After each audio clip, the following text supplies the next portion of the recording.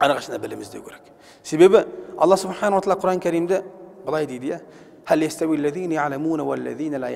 дейді бұл жерде ғұламалардың дәрежесі айтылады ағайындар білетіндер мен білмейтіндер тең ба дейді көзі көрмейтін адам мен көзі көретін тең ба ағайындар тең емес ағайындар қарны тоқ адам мен қарны аш адам екеуі тең ба екеуі тең емес аспан мен жерде айырмашылық бар ағайындар сол секілді білімді мен де білімсіздің арасында аспан мен жерде айырмашылық бар ағайындар білімді адам алла тағаланың жақсылығына бөленген адам білімді адам адамдарға жақсылық үйрететін алла тағаланың дінін үйрететін адам да қараңыздар егер сен ғалым болатын болсаң ғалым болатын болсаң бүкіл жақсылық сенің қолыңда.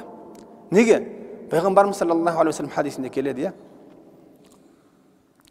Адамдарға жақсылықты үйрету дінді үйрету дейді сондай адамдар үшін алла тағала періштелер аспан иелері жер иелері тіпті ініндегі құмырсқа дейді дұға қылады дейді алла тағала не қылады мейірімі шапағаты болады және де басқалары дұға қылады және ол адам үшін аллахтан кешірім сұрайды да сіз ғалым болатын болсаңыз ғалым болатын болсаңыз сізге бүкіл адамдар не қылады дұға қылады және де сіз үшін бүкіл жаратылыс дұға қылады да. Және сіз өлмейсіз. Әлбетте адам өледі бірақ сіздің атыңыз өлмейді да.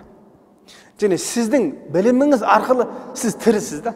Мысалы үшін қазір біз анау фиқл акбар деген кітап бар абу ханифаның кітабы бар ақида мәселесінде.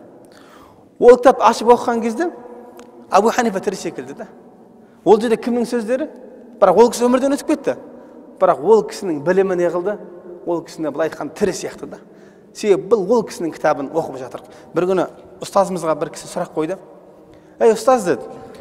Біз деді елімізде мысалы үшін ханафи масхабы болсын хәмбәли масхабы болсын енді әркім былай айтқан кезде бұл жерде мәселе бар да. Біз ханафи масхабын ұстанатын мемлекетте өмір сүреміз. Ханафи масхабын ұстануымыз керек. Басқа мемлекеттер қай масхабты ұстанады? Сол масхабты ұстану керек. Неге? Мұсылмандардың арасында іріткі бүлік салу шариғатта қайтарылған нәрсе. Имам шафии рахималлаху тағала бұл кісі меккеде білім алды. Медина қаласында білім алды. Куфа қаласында білім алды. Өмірінің соңғы бес жылын мысыр қаласында өткізді ол кісі. Сол жерде өмірден өтті. Имам шафи рахималлаху тағала куфадағы айтқан фәтуаларын мысырда айтқан жоқ. Неге? Мысырдағы ахуал бөлек еді. Мысырдағы жағдай бөлек еді. Мысырдың жағдайына қарай ол кісі фәтуа берді.